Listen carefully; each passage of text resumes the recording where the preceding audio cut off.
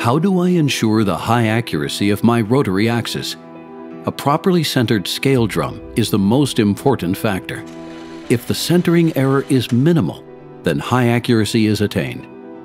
But if centering is off by only a few micrometers, accuracy drops significantly. Why is this? Let's take an example.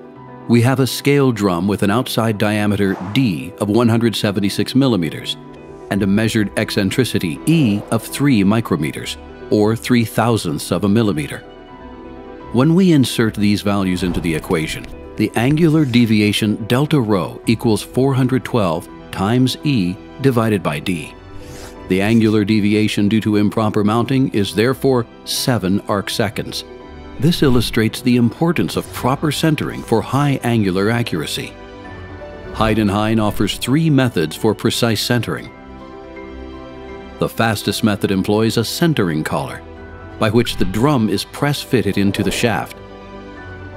In three-point centering, three markings on the drum are centered with a dial gauge.